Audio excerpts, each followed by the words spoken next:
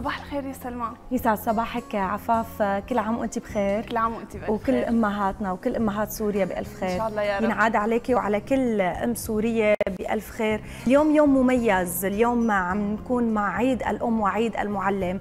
طبعا اثنين من ال- ال- اللي هن بيربوا الإنسان من بداية ولادته وهن الأساس وهن عمود حياتهم. يا رب يكون كل أمهات سوريا بألف خير. أمهات شهدائنا وأمهات جرحانا يلي طبعا قدرت الام السورية خلال فترة الحرب تكون أم ورجل بنفس الوقت بكثير من الأوقات. بدنا نقول آه، كمان الله يرحم آه، شهدائنا. واكيد تحية خاصة للمعلم السوري أيضا اللي قدر خلال آه، هذا الوقت يثبت نفسه. ومثل العادة بنحب نشكر كمان ببداية صباحنا مجموعة رحال التجارية زهرتي قفطان على العبايات يلي عم يهتموا فيها بإطلالاتنا طيلة الشهر الكريم. وأرجع لصبح عليك عن جديد عفاف. وأكيد ال- الأمومة مسؤولية كثير كبيرة. صحيح. وانت يمكن من الامهات العاملات والامهات الصغار. قد إيه الأمومة شيء كبير وشيء مهم؟ والله لا يحرم حدا من نعمة طبعا الأمومة. أكيد وكمان ما يحرمك يا سلمى. صباح الخير يا وجه الخير يا أمي ويا كل أم. ضحت حتى يكونوا اولادها بخير وجاعت حتى يكونوا شبعانين وسهرت حتى يناموا وتعبت لحتى يرتاحوا.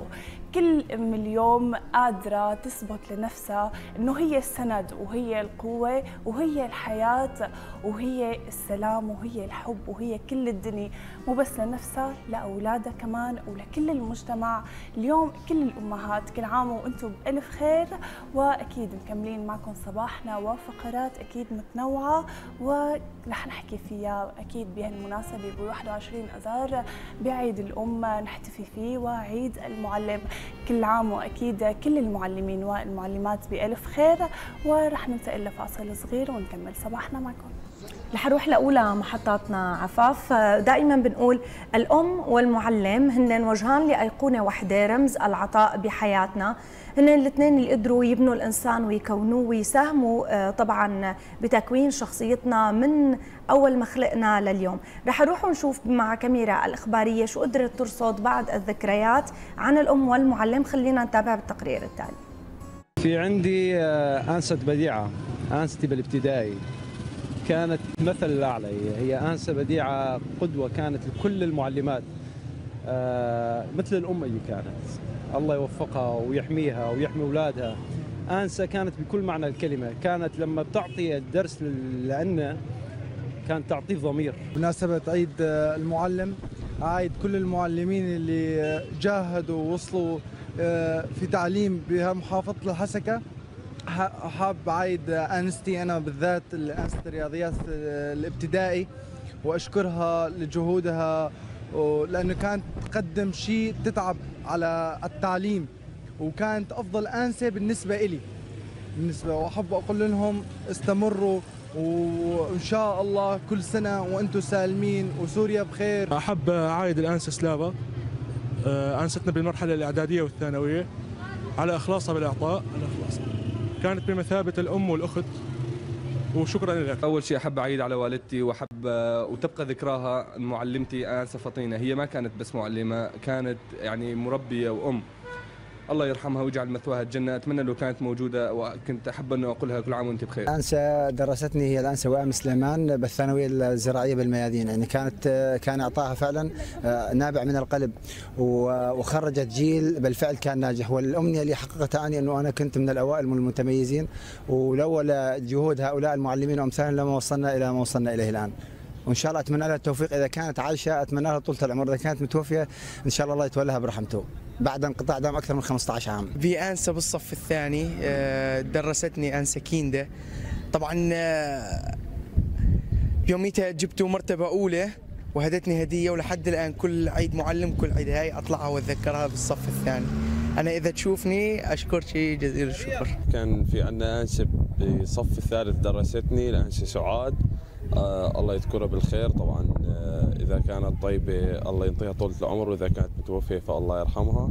هاي الأنسة كانت من الأنسات اللي عاملتنا كأم و وكان كانت تنصحنا دائما عكس خارج النطاق التدريس يعني بالحياة الاجتماعية والحياة العملية مع إنه كنا لساتنا بطلعة جديدة يعني بصف الثالث لساتنا أطفال. بس لحد الآن بحكم وأمثال مترسخة بذهني لهاي اللحظة وأنا ماشي عليها. طبعا مشاهدينا سلمى بتعرفي إنه الأمومة هي مو بس عاطفة بتغلف حياتنا لحتى تكون هي الحماية لكل العمر والقوة لحتى نقدر نواجه مصاعب الحياة. الأمومة مسؤولية عم تصنع فيها السيدة. إنسان ليكون مراية لجهدها وتربيتها ضمن مجتمعه ومحيطه وبأخلاق ومبادئ ونجاح كمان. وكاميرا الإخبارية بين الناس بمحافظتي اللاذقيه والسويداء رصدت معايداتهم لأمهاتهم ورح نتابع سوا ضمن هالتقرير الأمهات كل سنة هن سالمين هن الدنيا كلها. والله يخلي أمهات العالم كله والله يرحم اللي توفت أمه. لأنه الأم هي بتمثل الوطن. إن شاء الله كل عام وأمهات الجميع بألف خير وتنعاد عليكم بالصحة والسلامة. ويطول بعمر الجميع ويخلينا إياكم ويخلي هالبلد ويحمي الشباب جميعا. أنا يعني بقول يعني إن شاء الله هيك الله يطول بعمر أميات الجميع و وإن شاء الله هيك الله يكون مع هالعباد. هدول تاج على راسنا هدول يعني الرساله كلها لهم إنه كل عام وهن بخير وإن شاء الله هيك كل شيء حلو بتمنى لهم لهم كل سنة وهن سالمين كل أمهات العالم إن شاء الله بتنعاد عليها 100 سنة هي عليها وعلى أولادها. يعني كل امرأة عظيمة أكيد يعني آه، الجنة تحت أقدام الأمهات وكل عام وهن بألف خير يا رب. كل عام وهن بخير. إن شاء الله السنة الجاية تكون عليهم أحسن من هالسنة. لأمي كل عام وأنتم بألف خير وكل عام سوريا بألف خير وجميع الامهات بألف خير. يعني عاد عليكم يا رب. بعيد ماما بقول لك كل عام وأنت بخير وب بقول الله يخلي لي إياك وتاج فوق راسي. بداية بحب أوجه تحية لامي ولكل أمهات آه، السوريات اللي أنجبت الأبطال سواء أبطال الجيش العربي السوري أو أبطال الجيش الأبيض الموجود في المشافي. وبكل لامي كل عام وانت بخير يخلي لي اياكي وتضلي فوق راسنا. وبنقول لامنا سوريا الحبيبة نحن دائما موجودين ورح نعمر هذه البلد بالأمل وبالعمل مع السيد الرئيس دكتور بشار الأسد. إن شاء الله كل عام وأنتم بخير يا رب. إن شاء الله بينعاد عليكم وعلى الجميع يا بنتي. شو بتحبي تقولي للأمهات؟ والله الله يخليك للأمهات والله يخلي لنا اياكم ويخلي كل هالشباب ويا رب تنصر هالجيش وقايد هالجيش والله يخلي لي اياكم حبيبة قلبي عيني أنتم الله يخليك وان شاء الله كل عام وأنتم سالمين يا غالي. إن شاء الله بينعاد عليكم وعلى الجميع إلهي. الله يرحمها ويجعل مسواها الجنة. بس. طيب شو بتحبي تقولي لها كمان؟ أه اشتقت لك كثير بس. ها. وبتمنى تكون موجودة يعني معي بكل الاعياد كل عام وكل أمهات العالم. بألف خير. وشان ينعاد على الجميع بالخير والسعادة وبالصحة والعافية. وعلى البلد كمان بالدرجة الأولى كمان. كل عام وهي بخير والله يحميها والله يفرج همنا. إن شاء الله بنرجع لعندها سالمين غالمين. إن شاء الله كل عام وأنتم بخير لكل أمهات سوريا. رح نروح لأولى محطاتنا عفاف وبين جدران دافئة وأكيد رعاية وأخوة وحنان صور من صور الرعاية وصور الأمومة المميزة يلي طبعا قدرت أنه هي تجمع عدد من الأطفال مع بعضهم ضمن طبعا حدود اس أكيد يا سلمى وهون للأمومة معناها الحقيقي بأرقى صورها والإنسانية والمشرفة لعاطفة ورعاية وحنان الأمة يلي بتمنحه الأم البديلة اليوم لأطفالها وفاقدي الرعاية لحتى ترسخ مقولة الأم هي التي تربي. واليوم رح نتعرف على السيدة رانيا حورية نموذج للأم البديلة والراعية داخل قرى الأطفال SOS يسعد صباحك. وكل عام وأنت بخير. انت بألف خير يا رب. كل عام وأنتم بخير. وانت بخير رمضان كريم عليك. يا رب الله يسلمك. خلينا نبلش مع حضرتك. اليوم الأمومة مو بس عاطفة بتخلق عند كل سيدة آه، لما بتصير أم. كمان الأمومة واجب ومسؤوليات. يمكن حضرتك اخترتي إنه تكوني بموقع دقيق وحساس جدا. ليه اخترتي هذا الموقع؟ هلا أول شيء أنا كثير بحب الأطفال. كثير بحب أتعامل مع الأطفال. ومن زمان بشتغل بجمعيات آه، شيء بخص الأطفال. وقت صار فرصة إني أنا أقدم على ال SOS وكون بهذا المكان فأنا ما فكرت ابدا. قدمت وصرت بين الفريق بصراحة. حضرتك سيدة رانيا أنت أم لكثير من الأطفال وبرغم أنه أنت مانك متزوجة وما عندك أطفال كيف مثلا بتقدري أنه أنت تعطي كل هذا الكم العطاء؟ ويعني فينا نطبق مقولة فاقد الشيء يعطيه ولا لا طبعا. يعطيه هون؟ طبعا فاقد الشيء يعطيه. يعني وقت بتكوني بهذا المجال وبهذا المكان فعلا تعرفي إنه أنت حتى لو مانك أم قادرة تعطي هي العاطفة الامومه وهذا الشيء كثير حلو بالنسبة لي ومحقق. يعني وقت تشوفي نتائجه مع الأطفال فهو شيء كثير كثير حلو. أكيد. يعني اليوم آه، حضرتك خلينا نحكي شوي اليوم إيمت بداتي دورك بهذا المهام كأم بديلة مع أطفال. عدد كبير منهم بنعرف بقرى SOS تجمع عدد من الأطفال اللي انحرموا من رعاية انحرموا من الشعور إنه يكون لهم أم. من أربع سنين أنا موجودة ب SOS بمنصب ام كيف توصفي لنا هالتجربة؟ هلا التجربة كثير حلوة إنك فعلا توصلي هي العاطفة حتى لو مانك ام حقيقية. كيف بتزرعي هدول القصص؟ بتشوفي نتائج الأطفال أو النتائج اللي انت عم تشتغلي معهم للأطفال على أرض الواقع؟ فهو كثير شيء شيء كثير حلو. أكيد يعني خصوصا هي المهمة ما سهلة ابدا. الأم يعني الواحد بتقول مثلا أنا ابني ممكن شوي مثلا اتركه على راحته ولكن أنت مع فاقدي الرعاية اليوم ممكن تحسي بمسؤولية أكبر تجاه هي المهمة. كيف عم تقدري مثلا تنظمي بين إنه أنا بدي أكون مسؤولة على هدول الأطفال أكثر من إنه حتى لو كان عندهم أم حقيقية أو أهل أنا عم انتبه عليهم أكثر آه، طبعا هلأ دوري بيكون آه، مضاعف هو بتبذلي جهد أكثر يعني مع هدول الأطفال. وغير إنه انت بالحالة العاديه بالبيت بتعطي هي الرعاية بتهتمي بتفاصيلهم بتطبخي كل أمورهم بتكون آه، موجودة. بنساهم أكثر يعني بيكون دورك أكثر بإنك تشتغلي معهم على الاندماج الاجتماعي. انه تدمجيهم بالمجتمع لحتى بس يكونوا اشخاص فعالين ترفعي مستوى وعيهم تعلميهم على أو تعززي الاستقلالية تبعت الاولاد آه، يشارك برأيه يشارك بحل مشاكله آه، نقوم بأنشطة مثلا نروح نزور آه، جزء من عائلتي إنه يصير في بيناتنا هذا الخلق الرابط الأسري إنه بيناتهم. فهو عم يعمل كثير شيء شيء حلو وبتعززي قيم مجتمعية فيه لحتى يطلع شوي فعال بالمجتمع وترفعي مستوى وعيه أكيد. الأم اليوم مهمة كثير صعبة قلنا بالبداية إلى مسؤوليات ودقة وحذر بالتعامل خصوصا اليوم حضرتك عم تتعاملي مع أعمار مختلفة مع بيئات مختلفة عدد كبير من الأطفال. خلينا نحكي شوي اليوم كيف نمط حياة الأطفال فاقدين الرعاية ضمن SOS هلا نحكي عن أمور آه، إنه في صعوبة بإنك أنت توازني آه، توازني هذا البيت مثلا أو تحافظي على استقراره. آه، فهذا بيتطلب إنه كمان جهد جهد أكثر مني. و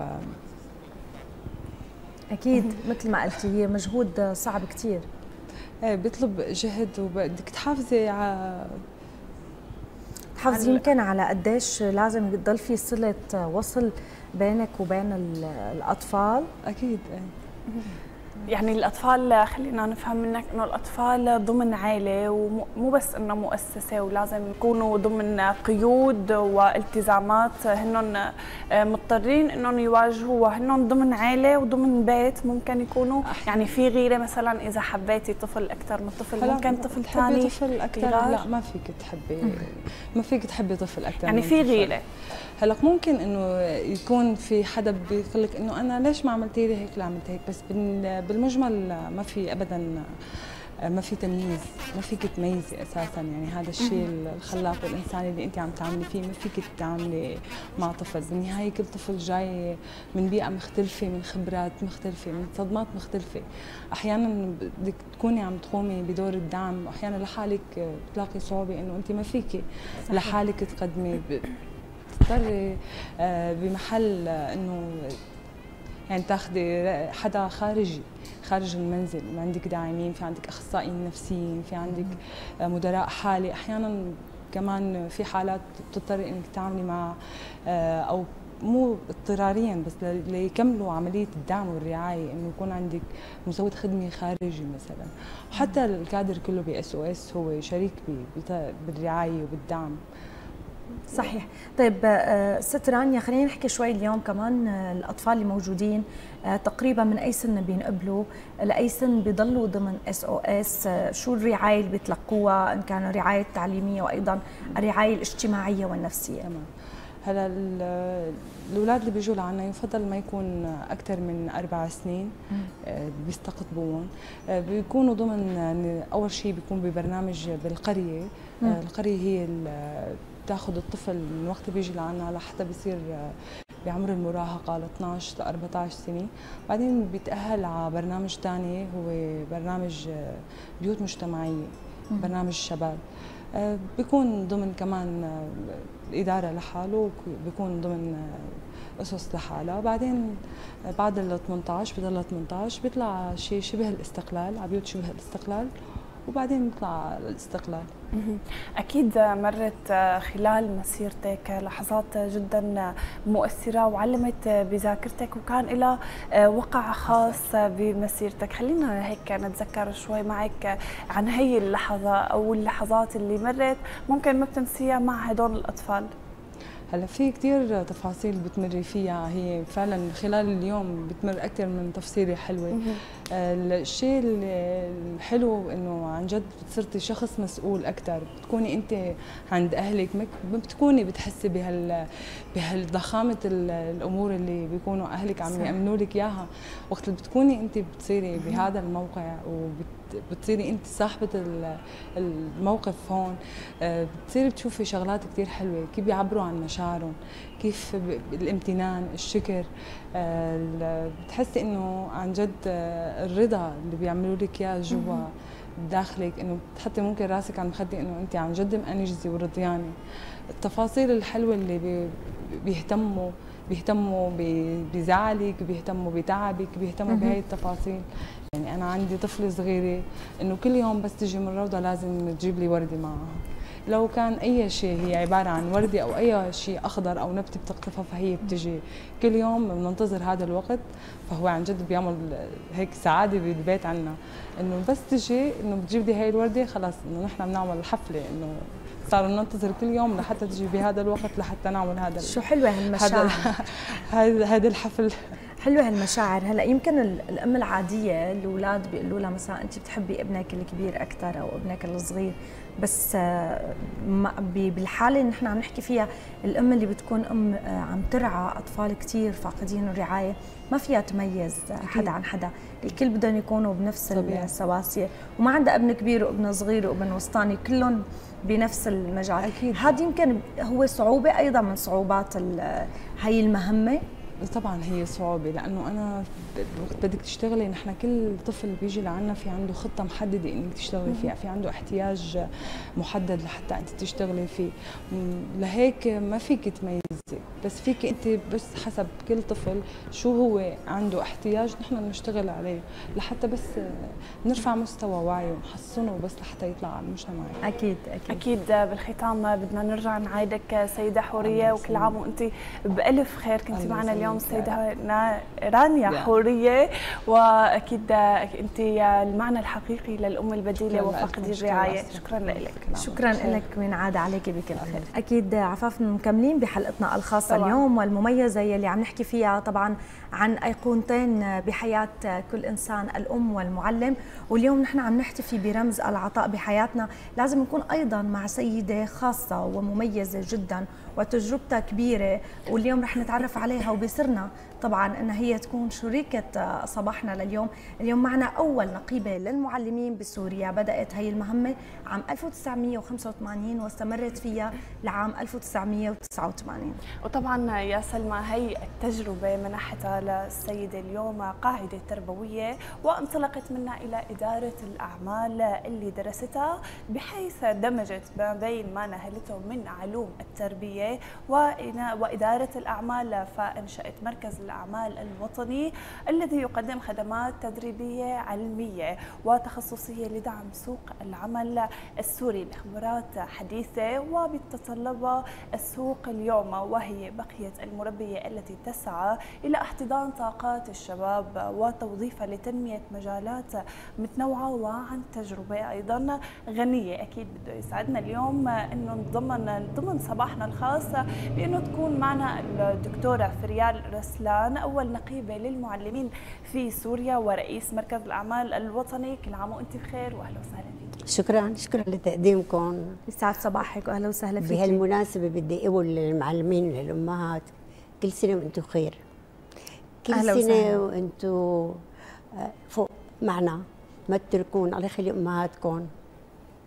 أكيد. عندكم أمهات أكيد. الله يخليهم هيدا أهم شيء. وكل شيء موجود وعم يشوفنا على التلفزيون. بنقول لهم صباح الخير وكل سنة وأنتم سالمين. ينعاد عليك ويسعد صباحك عن جديد.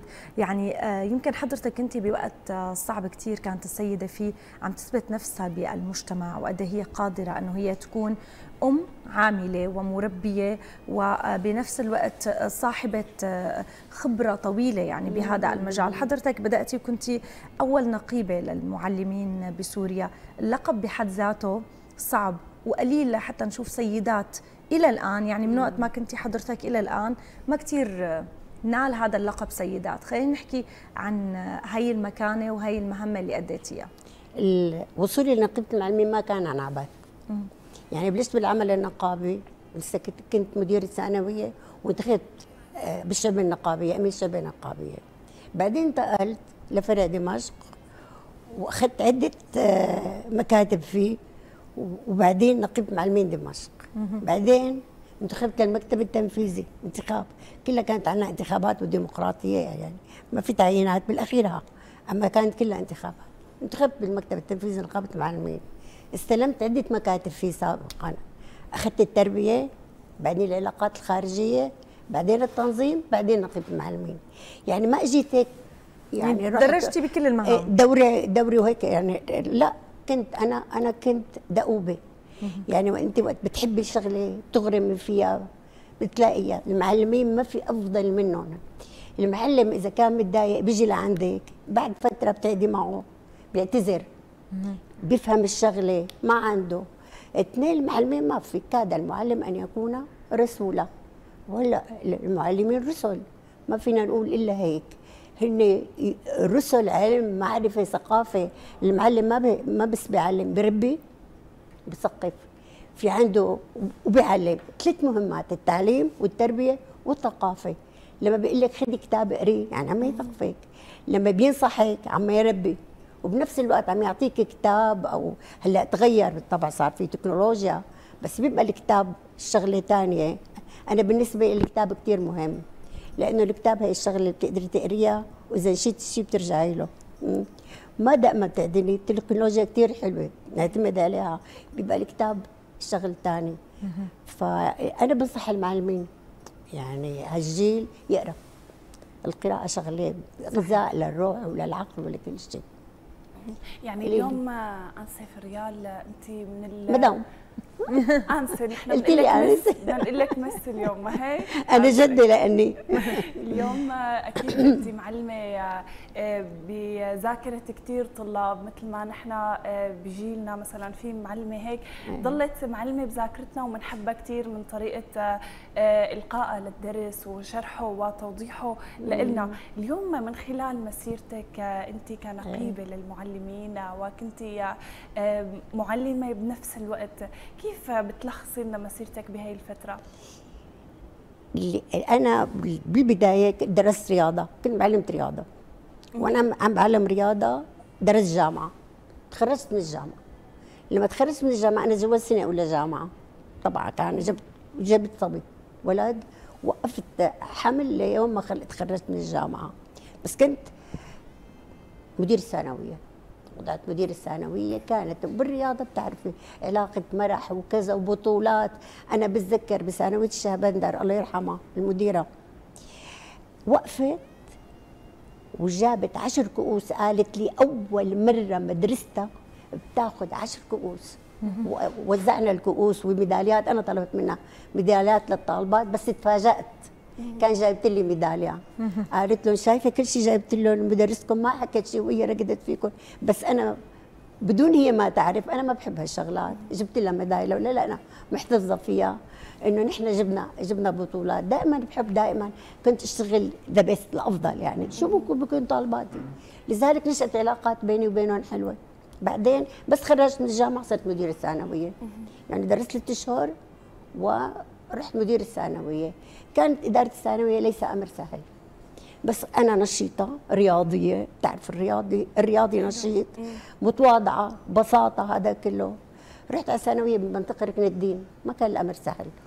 لأنه كان في جبل وكان في مزيج من المحافظات كلها وكان في آه، تفاوت طائفي.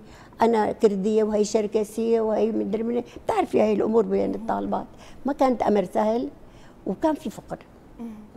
وبالتالي قدرت أنا بوجودي سنوات المدرسة غير. هلأ في كثير يمكن يكونوا عم يسمعوني. أحد طالباتي صارت عضو قيادة قطرية.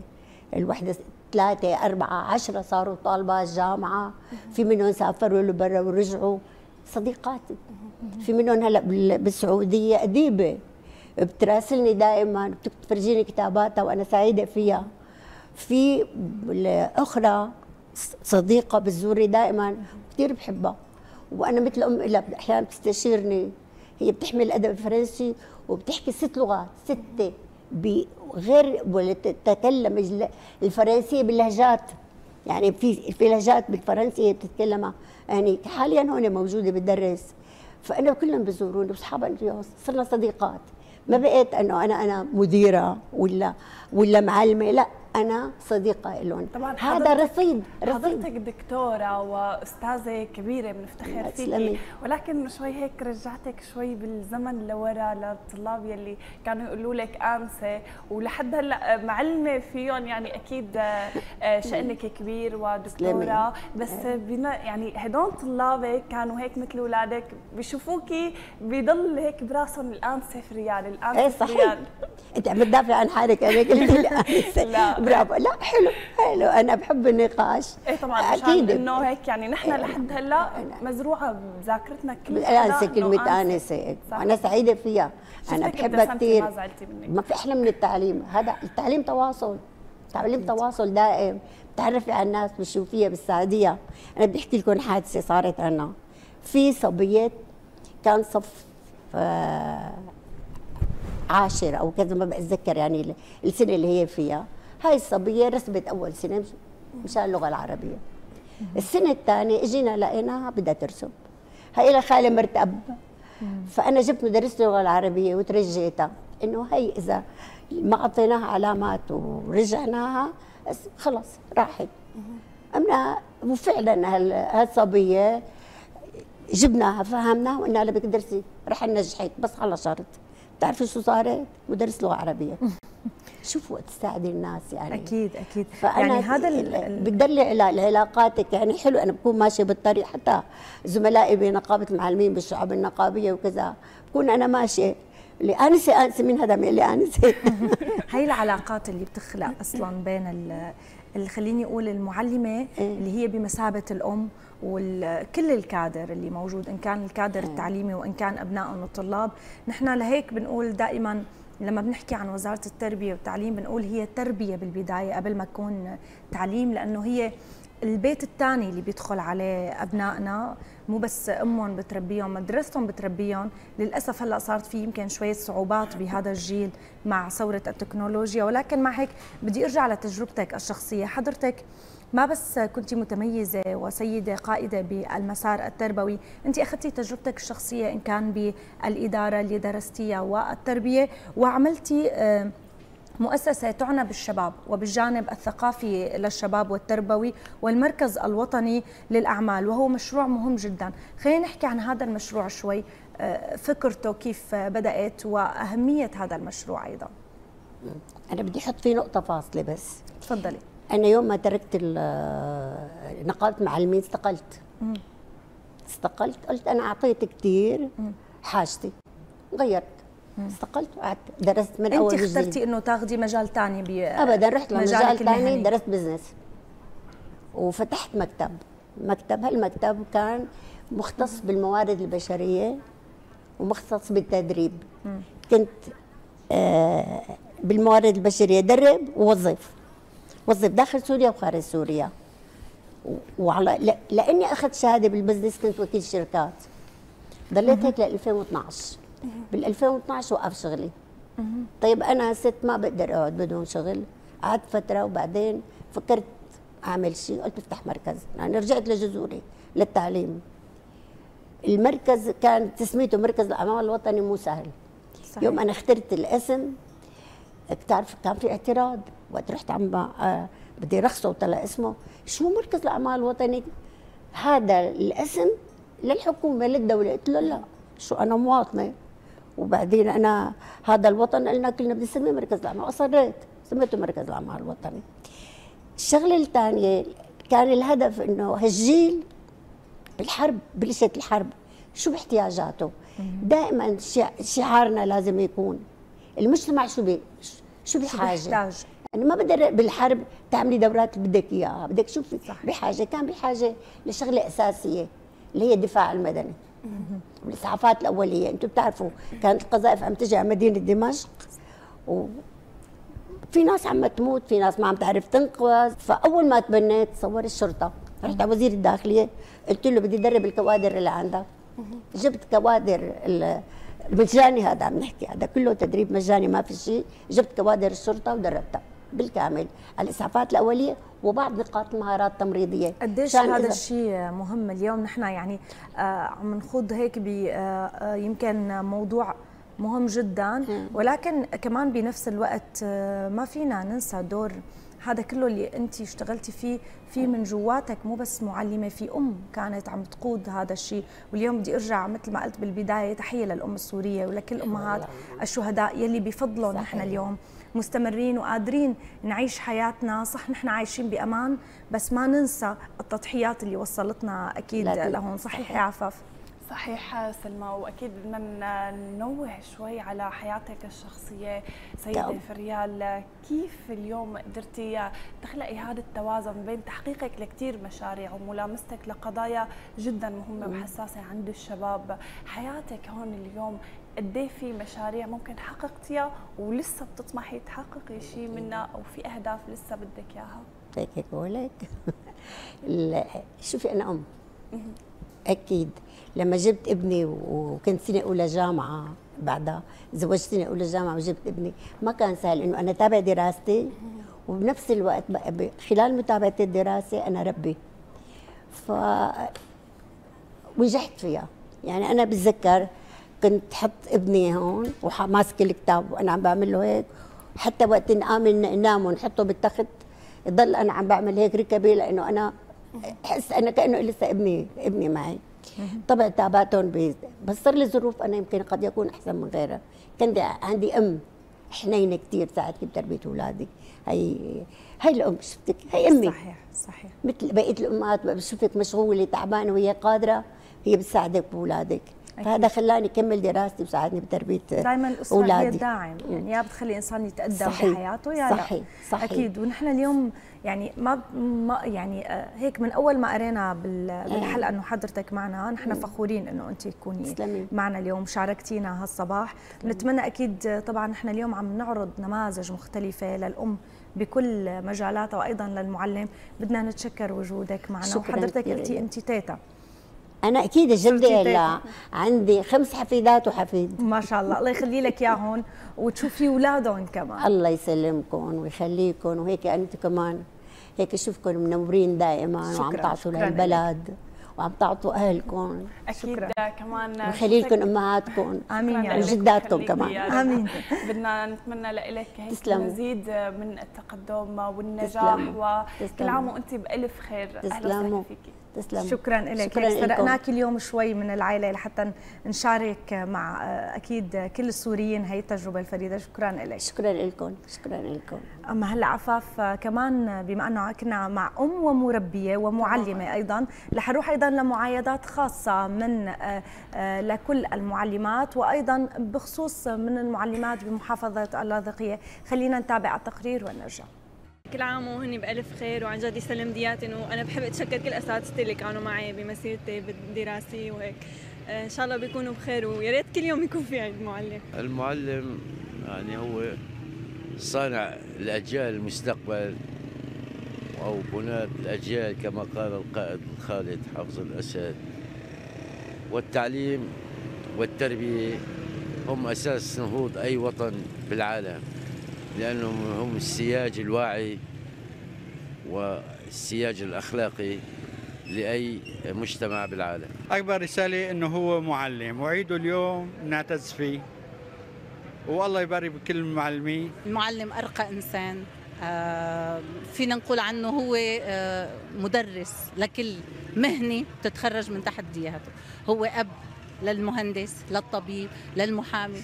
فربي يعطيه القوة والصحة. بنقول له كل عام وأنت بخير لكل معلم موجود بسوريا الحبيبة لأنه المعلمين مثل ما بنعرف هن بنات الأجيال بنات الوطن. والله يعطيهم العافية وإن شاء الله بتكون الرسالة السامية اللي عم يقدموها لطلابنا فيما بعد بتلاقي النتائج الكويسة والمنيحة. بقول قال قم للمعلم وفيه التبجيل كاد المعلم أن يكون رسولا. والمعلم كمان يعتبر أو أستاذ أو الأنسة مثل الأهل يعني مثل ما الأهل بيربوا بالبيت كمان هن بيربوا بالمدرسة إلين دور ثاني إلين كل الشكر والاحترام. كمان هن دور علينا بفضل بشيء عم نوصل له أي شيء كان دراسة أو نجاح بحياتنا كمان إلين فضل علينا. تعبوا كثير على أولادنا ونقدر لنا هذا التعب. بارك الله فيهن كل عام وهن بخير. إن شاء الله بينعاد عليهم بالصحة والسلامة يا رب. كل عام هم المعلمين بألف خير وهم بناة الأجيال اللي صنعوا المهندس والطبيب والمحامي وهم الأساس بهالمجتمع. ويا رب يخلي لنا إياهم ويؤدوا رسالتهم على أكمل وجه. بحب عايد على كل المعلمين بسوريا بمناسبة يوم المعلم وخاصة هم خاصة هم صمدوا خلال سنوات الحرب ولهم دور كبير بصمود هذه هذه البلاد وكل عام وهم بخير إن شاء الله.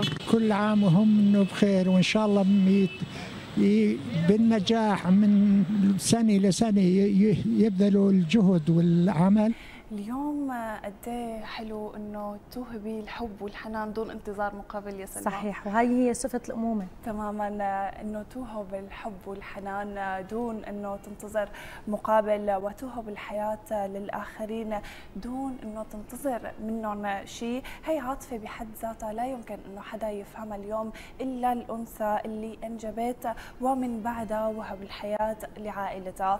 أمهات وقامات بحياتنا اليوم رصدتهم كاميرا الإخبارية وراح نشوفهم ضمن التقرير التالي.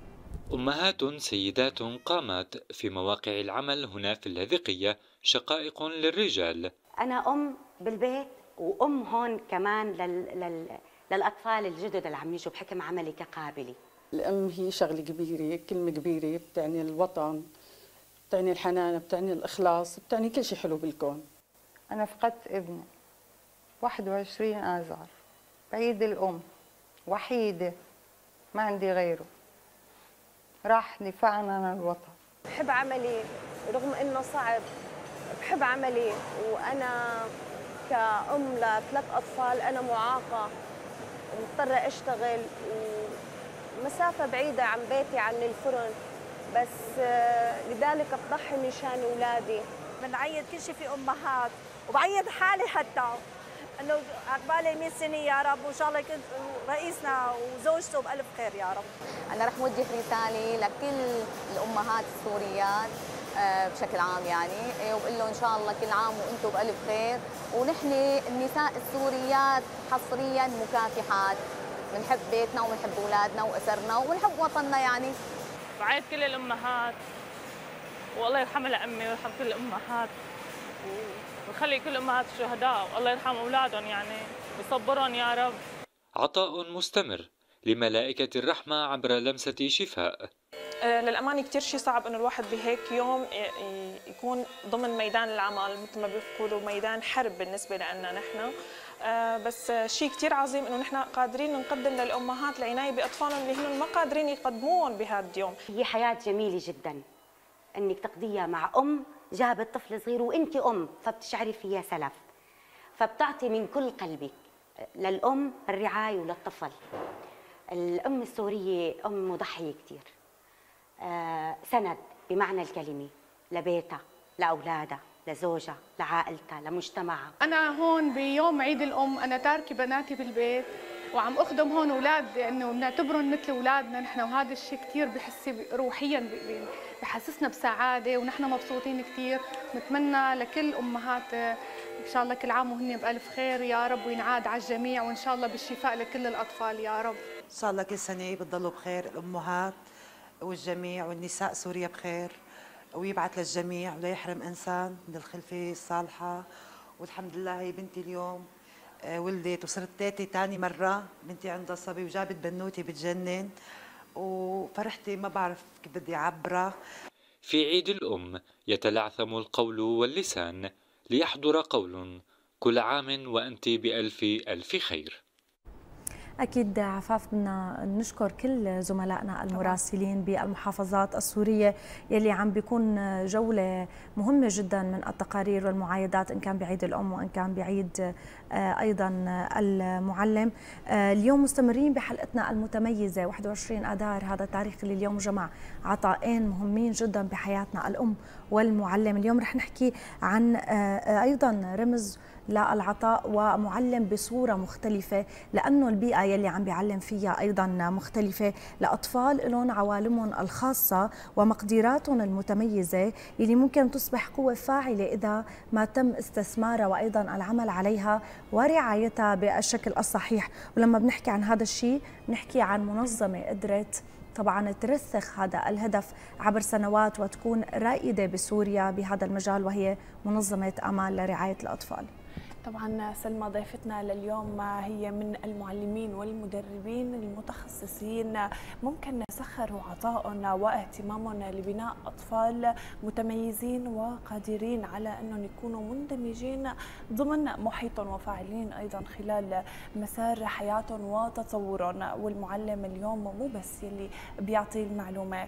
المعلم الحقيقي من يمنح الأمل وبيبني إنسان متمكن من في بيته ومجتمعه مجتمعه ومحيطه أيضا واليوم رح نتعرف على صورة مختلفة للمعلم ودوره بإعادة بناء مقدرات الطفل ولحتى يكون في مساره الطبيعي. ورح نتعرف أكثر اليوم كيف ممكن يتحقق هذا الهدف مع ضيفتنا السيدة ماري طعمة ومعلمة في المركز التربوي للإعاقة السمعية في منظمة امال يسعد صباحك وكل عام وأنت بألف خير. يسعد صباحكم وكل عام وأنتم بألف خير.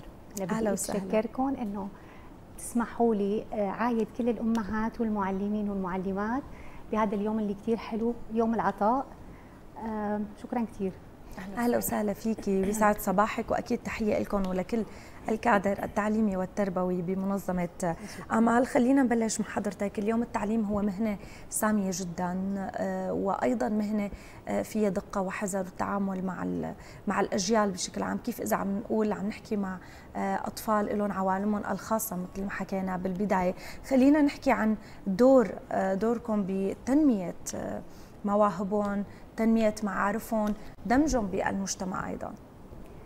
هلا بدي احكي بجزئية آه، قبل ما أبدأ بحديثي. آه، أنا بمسيرتي المهنية كمعلمة اشتغلت مع أطفال ما في عندهم مشاكل وكمان اشتغلت مع أطفال آه، اللي عندهم قدرات خاصة هلا رح نحكي عنهم.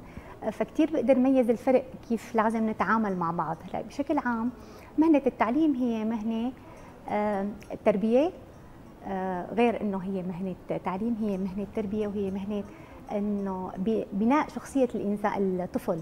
وثقته بنفسه. يعني نحن بنعلم الطفل كيف يوثق بحاله كيف يقدر يفكر.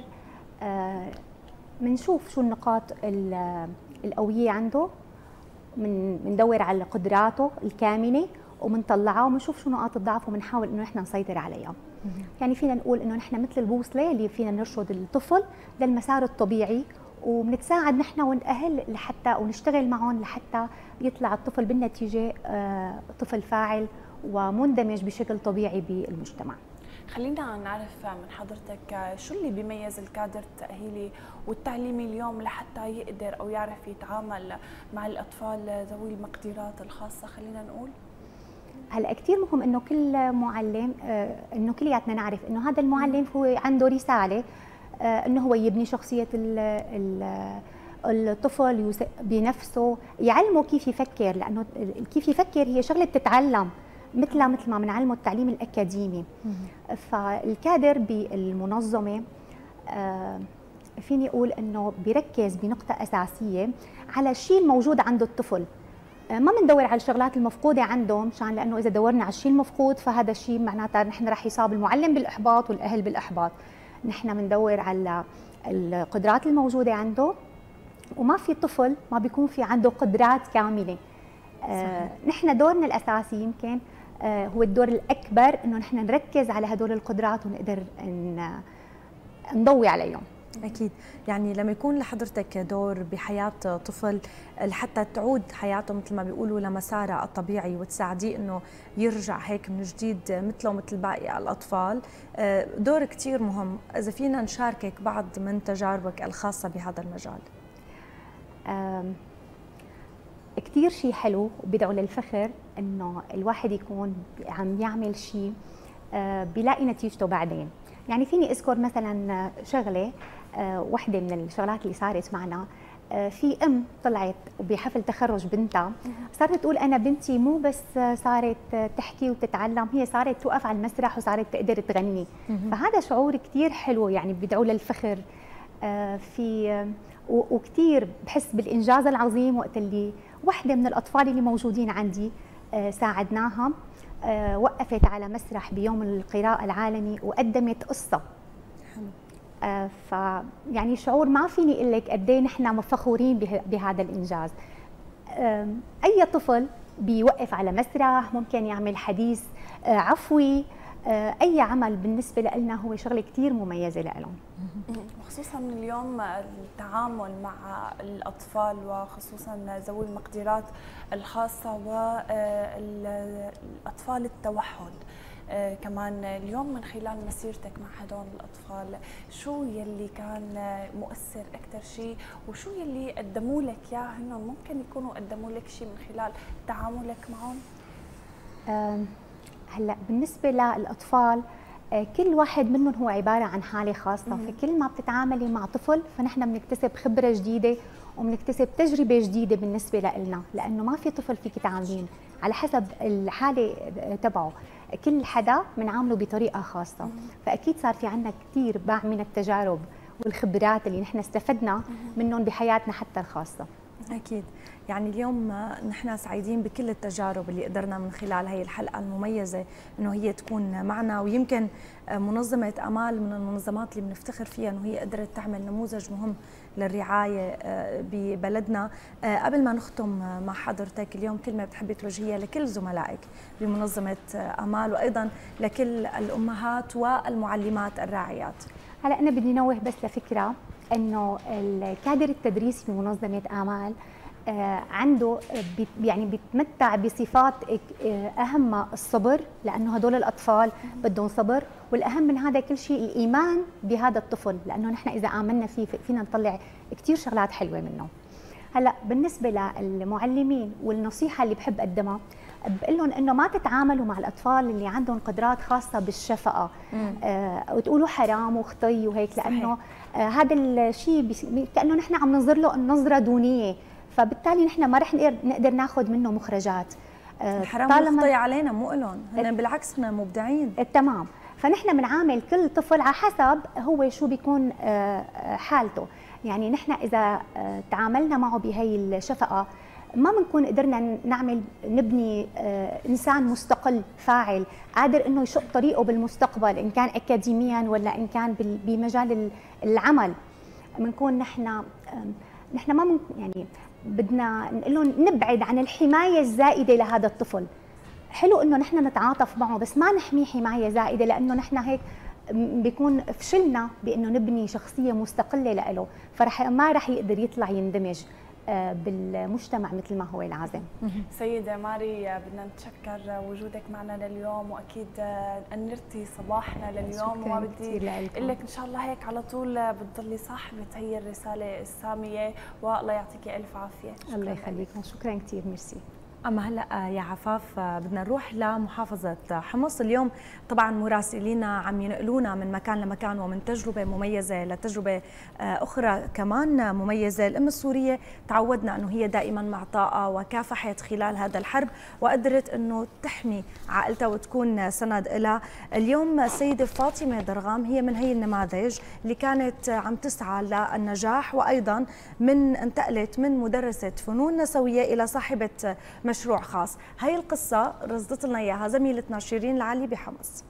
بكفاحها واجتهادها تكتب المرأة السورية قصص نجاح كل يوم وتحول الصعوبات إلى إنجازات ومشاريع تعيل من خلالها أسرتها. السيدة فاطمة الدرغام من حمص مدرسة فنون نسوية عشقت مهنة الخياطة منذ الصغر ولم تتخلى عن حلمها حتى بعد أن أصبحت أما.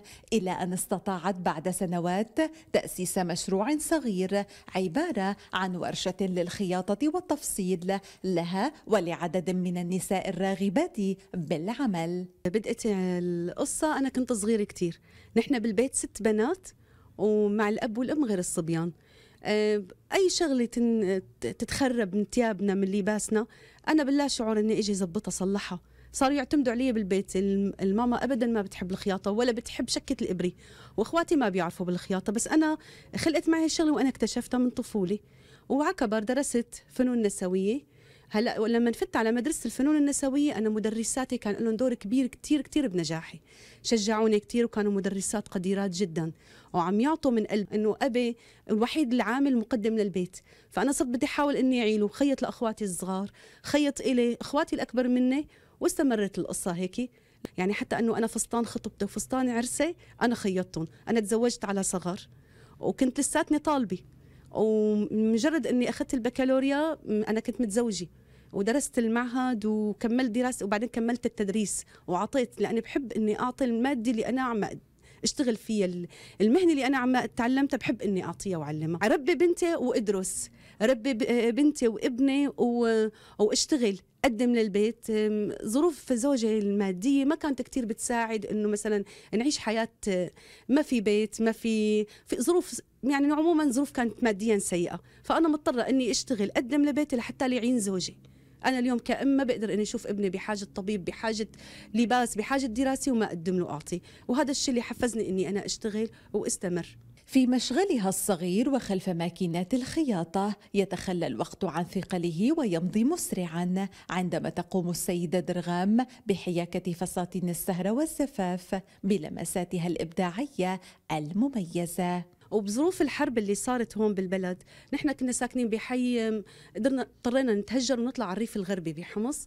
هلأ أنا كثير آه، الشيء اللي صار كان هو بشع كثير إنه تهجرنا بس كثير كان حلو المكان اللي أنا رحت عليه واللي شجعوني يقولوا لي اشتغلي شغلك حلو صرت أشتغل للناس. الشغل للناس صار يقدم لي مردود لبيتي. قدرت إني أعين زوجي قدرت إني أستمر. لما لقيت ظروف مدينتنا الحلوة حمص رجعت على وضعها الطبيعي حبيت إني أرجع أنا إلي ناسي وزبايني وبالاساس أنا بنت مدينة وبحب إني أشتغل ضمن المدينة. هلأ البروكار هو قماشي صنعت في سوريا من قديم الأزمان لبستها الملكة إيزابيل لبستها كليوباترا البروكار المصنوع بخيوط الذهب.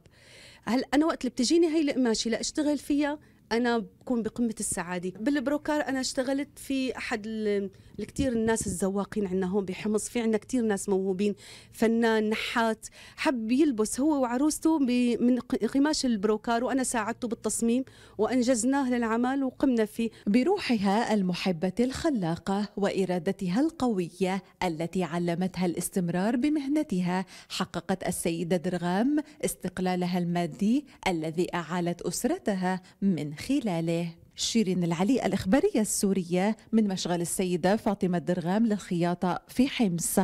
أكيد بهالمناسبة بمناسبة عيد الأم كل أم اليوم هي معروفة بالعطاء وهي الصفة موجودة عند الأم القادرة على أنه تقدم العطاء على طول لأبنائها وكل شيء حواليها لحتى خصوصا لحتى يقدروا هن يطلعوا منها ويتأهلوا ويبلشوا مسار نجاحهم لحالهم واليوم السيدة واليوم ضيفتنا هي أم وشريكة النجاح مع آه، بنتها وهي أيضا كانت ملهمة لكل سيدة.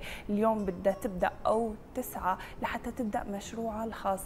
أكيد آه، يا عفاف عم نحكي عن ضيفة من ضيوفنا اللي خلال سنوات بدأت مشروعها الخاص وقدرت فعلا مثل اسمه ألوان سورية إنه هي تجمع سيدات من كل المحافظات السورية ومن كل المهن اليدوية والمميزة وقدرت إنه هي تساعدهم لحتى يبدأوا خطوتهم الأولى بالنجاح. وكنا نحن آه، طبعا شر- شركاء معهم تعرفنا كثير على سيدات منهم وكانوا ضيوفنا بصباحنا غير. اليوم عم نحكي آه، عن السيدة رنا طباع اللي هي أسست آه، بازار ألوان آه، سورية وبنفس الوقت عن تجربتها كأم وكداعمة للمشاريع الصغيرة. واليوم بصيرنا مو بس تكون هي معنا وبنتها اللي هي شريكة لها آه، بالمشاريع الصغيرة وأيضا هي بتدير آه، آه، معاها بتنسق معاها طبعا القسم الأعمالي والتواصل بالبازار لين نابلسي أهلا وسهلا فيكم صباح. الخير كل صباح عام وأنتم النور. بخير وأنتم بألف خير. صباحك يسعد صباحكم. كل عام وانت بخير وأنت بألف خير رنا. أول شيء وأهلا وسهلا فيك لين. فيكم. آه،. سيدة رنا اليوم عم نشوف نموذج كثير حلو ومميز الأم وبنتها شركاء بالنجاح وبتحقيق هي المشاريع كيف كانت تجربتك مع لين كشريكة مو كبنت يعني انت بنتي وحبيبتي وعيني وروحي بس ال business business والشغل شغل خبرينا عن هي التجربة هلأ لين أوقات ب في فترات معينة أنا بتعلم منها. يعني نحن ربينا ووصلت لمرحلة آه، كتير أخذت وسمعت فبحسها كتير راكزه زيادة عن اللزوم. كتير بتفهم هيك علي. فحبيبتي يعني انبسطت إنه هي معي. بتقولوا سند يعني دائما الأب سند الأخ سند ال- الطفل الولد سند. بحاجة تكوني معك روح منك تفهم عليكي. فكتير كنت مبسوطة إنه صارت معي حبيبة قلبي أكيد الله يخليكم لبعض وهي العلاقة. الحلوة والشراكة والنجاح. بدنا نصبح على لين ونقول لها أهلا وسهلا فيكي لين فيكي. تعودنا صباح دائما. الست رنا بتجيب لنا من خليني أقول المشتركات بالبازار واللي كلهم بتعاملهم على إنه هن اخواتها وشركائها وكمان اولادها خلينا ناخذ هيك الوجه الحقيقي للأم والشريكة بالعمل كيف توصفي لنا هالتجربة آه، أكيد تجربة كتير كتير كتير حلوة. يعني آه، أنا أنا مع ماما من وقت ما هي بلشت آه، من الصفر. أنا كنت معها صحيح كنت أصغر بس كنت معها خطوة بخطوة وكنت شوف شو هي بتعمل وكيف طورت حالها كيف بلشت أول شيء مع الجمعيات الخيرية. وكانت كتير تساهم بقصص كتير حلوة وإنسانية. ولهلأ طبعا أكيد بس كمان اختارت آه، إنه كمان طريق آه، شغل لإلها. وأنا كنت فيه من الأساس من الأول آه، كان شيء صغير وكبر مثل ما كل هالعالم اللي عم بيشاركوا معنا بالبازار عم يشاركوا بمشاريع صغيرة وإن شاء الله بتكبر مع الوقت. فأنا كثير كثير عن جد يعني مبسوطة كثير إنه أنا مع ماما بهذا الشيء من الأول. وأكيد كنت أصغر فما كنت كثير تابع الأمور بتفاصيلها بس هلأ كثير اختلف الموضوع علي يعني. سيدة رنا اليوم يمكن كل أم بتشوف بنتها هي الطفلة المدللة اللي ما خرج آه، أنا ما بدي حملها مسؤولية أنا ما بدي شغلها بالبيت أنا بدي تتركها دللة كيف قدرتي اليوم آه، توثقي بقدرات لين وتعطيها هي المسؤولية الكبيرة بمشروعك وتسلميها إياها بدون ما أنه يكون عندك مثلا آه، شوية خوف أو شوية حذر أنه خلص بنتي أنا بدي أعطيها المسؤولية لهذا المشروع. أول شيء لين آه، كانت آه، عندها عمل معين. يعني. كانت تشتغل ضمن مجال معين وهي من التيم اللي بلش من الصفر. فوقتها كانت أثبتت حالها تماما. وحبيبتي اشتغلت من قلبك تشوفها. لين المدللة كيف تفيق الصبح كيف تتحمل مسؤولية كيف تتابع بقلبها وجهدها. فهالشيء كان عندي ثقة كبيرة انها أبدأ وقدود وبعدين هي اللي قالت لي أنا معك ماما.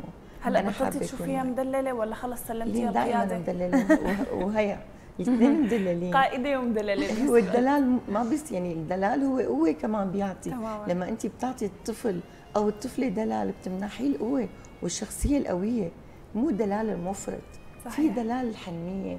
كم الحنان والتقبل المتابعة. والنصيحه والمتابعة بأقل تفصيلة صغيرة يعني دائما معنا كانت عن جد هي وبابا الله يخلي لنا اياهم حبيبه آمين يا رب. اليوم مو بس الأم بتعطي هيك سر دائما خاص وكل أم لها تعابيرها الخاصة عن الحنان والحب والدلال هي بتمنحه لبنتها. كمان البنت الشريكة اليوم كمان لها وصفتها الخاصة كيف تقدر تنجح؟ اليوم بجوز أنت تعطي رأي لشخص عم تشتغلي معه ما في هالمشاعر في حيادية فبتقدري تعطي رأيك بكل صراحة ما بتخافي أكيد. أكيد. بينما بجوز الواحد شوي مع أهله بيكون حذر يا ترى إذا قلت ممكن ضايقهم بهالشيء أو لا شو مفاتيح النجاح بالشراكة بين الأهل هلا آه، أنا من وقت ما كنت صغيرة كثير بفهم على أهلي يعني كثير خصوصي ماما يعني كثير بنفهم أنا وياها على بعض فمثل ما قلت لكم قبل شوي إنه أنا معها من الصفر من قبل ما أنا أصلا أكون من التيم فأنا معها فأنا بعرف هي كيف بتفكر وشو بتحب وشو ما بتحب. آه، بنفس الوقت هي بتعرف أنا كيف وعندها ثقة كبيرة فيني والحمد لله يعني هذا الشيء كثير آه، ساعدك ساعد أكيد كثير ساعد. فما بحس ولا مرة يعني حسيت إنه إنه في شيء مثلا آه، سوء تفاهم بيني وبينها أو شيء مثلا أنا كان بدي إياه هي ما بدها إياه. آه الحمد لله ما بعرف هيك ميسرة كانت من الأول. يعني كمان ما بدنا ننسى إنه هون في عنا حالتين وجيلين مختلفين أكيد عن إيه. بعض. طبعا. أكيد في اختلاف بوجهات النظر عن إن كان من خلال العمل أو نظرتكم للحياة أو نظرتكم حتى للأشخاص. يعني اليوم الأم إذا بتقول لبنتها هي رفيقه أنا ما بدي إياها إلك. وبنتها ممكن ما تسمع منها وبعدين تكتشف إنه هي الصح. لحد لا الأم بتقلنا بلالك هذا الشخص.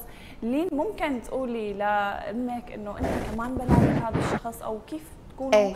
آه، تتفقوا بوجهة النظر أو تكونوا مؤثرين بطريقة إيجابية أكيد. مع هذا الاختلاف. طبعا. أكيد إيه. يعني ب...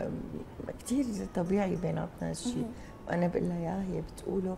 ودائما إحساسنا مشترك بيكون. كثير دائما يعني أي شيء بيصير أنا بقول لها اياه مثلا بقول لها ماما هيك هيك انتبهي بده يصير هيك مثلا. هي دائما بتسمعني وبتقول لي إيه معك حق بجوز إنه إيه. بنفس الوقت هي دائما لما تقول لي شيء عن أي شيء بالعالم مثل المثال اللي ذكرتيه أو شيء بالشغل كمان نكتشف بعدين إنه عن جد طلع معها حق ف هي بتاخذ مني وأنا كمان باخذ منها. شو ترتيبك بالعائلة لين؟ أنا أصغر وحدة. عندي أخت أكبر مني. طيب خليني أسألك أستاذة رنا اليوم كمان هيك قبل ما نختم في كثير سيدات كانوا معك هن شركاء بهذا النجاح وبمشروع ألوان سورية وسيدات اعطيتيهم الفرصة لأول مرة ومنهم كانوا مع أخواتهم أو مع أولادهم كانوا عم يجوا على البازار وعم يشتغلوا معاهم. هي التجربة شو بتحبي اليوم توجهي رسالة لكل أم ولكل سيدة بلشت مشروعها الصغير؟ السيده عيدك هو لما بتكوني عم تعملي شيء لنفسك انت بتشعري الحياة كلها عيد لأنه ما مو مجرد ام ربيتي وعملتي وكنتي مسؤولياتك بالبيت الأم لازم تعمل شيء لحالها. لما بيكبروا أولادها بتكون هي فخورة بحالها قد ما كان. الإنجاز أو العمل صغير بس بتحس بشعورها إرضاء للنفس بتحس حالها إنه أنا عملت شيء مليت وقتي غير تربيتي لأولادي. وبتملي وقتها بالحقيقة يعني. فبقول لها لأي سيدة بس أي شيء تتقنه أي شيء تعمله. ما تضلها قاعدة بالبيت هيك عم تفكر بشغلات سلبية أو أو شيء أو ممكن تشتغل هن مع التيم مع أولادها وعائلتها تساعدهم بعملهم. المرأة المنجزة هي هي كل شيء كل شيء صحيح. لين شو بتحبي توجهي رسالة لكل الأمهات اليوم؟ مو بس للسيده رن أول شيء كل عام وهن بخير و يعني عن جد لازم يحتووا أولادهم مثل ما ماما بتحتوينا وبابا بيحتوينا أكيد. آه كثير كثير باخذ منهم كثير أخذت منهم وكمان أنا بعطي مو بس إنهم بياخذوا ولازم دائما الطرفين يكونوا هيك ومعطائين وبحبوا بعض بيحتووا بعض والله يخلي لنا إياهم. شكرا لك أكيد بالختام بدنا نتشكر وجودكم معنا المثال الحلو والمميز والمختلف للأم وبنتها وشركاء العمل. شكرا لك سيدة رنا الطباع شكرا, شكرا لك لين شكرا كثير لكم. كثير حلو. أهلا وسهلا فيكم. نورتوا صباحنا وينعاد عليكم بكل خير. وأنتم بألف خير يا رب. شكرا كثير. شكرا لك يا سلمى وبقية نهار حلو لك. وإلك كمان يا عفاف وصلنا معكم مشاهدينا لختام برنامجنا أكيد واليوم بعيد الأم اليوم بعيد الأم وبعيد المعلم. أكيد بدنا نقول للأم أنت يا وجه الخير ويا كل الخير وأنت السند وأنت الحياة وأنت حلو الحياة وكل الدنيا لكل أم ومعلمة اليوم. كونوا بخير وشكرا لكم. وأكيد بدنا نتشكر بهالمناسبة زهرتي قفطان ومجموعة رحال التجارية على العبايات الحلوين يلي قدموهم لمذيعات صباحنا غير وشكرا لكم كمان مشاهدينا. باي باي. ينعاد عليك بكل خير يا عفاف وعلى والدتك وأكيد بنتمنى كمان لكل طبعا كادرنا يلي عم يشتغل بدنا نعايد امهاتهم وأيضا بدي عايد آه، معدة حلقة صباحنا غير لليوم. هزار عبود اللي بيصادف اليوم كمان عيد ميلادها بدنا نقول لها كل عام وأنت بخير. وعلى النماذج المميزة اللي دائما بتجتهد لحتى تكون موجودة على شاشة الإخبارية السورية مو بس من دمشق من كل المحافظات السورية. وأكيد بدي وجه معايدة خاصة لوالدتي وأكيد لكل الأم سورية قدرت خلال هذا الوقت أنه هي تكون أم وأب بنفس الوقت رغم كل صعوبات الحياة. تضلوا بألف خير. باي باي.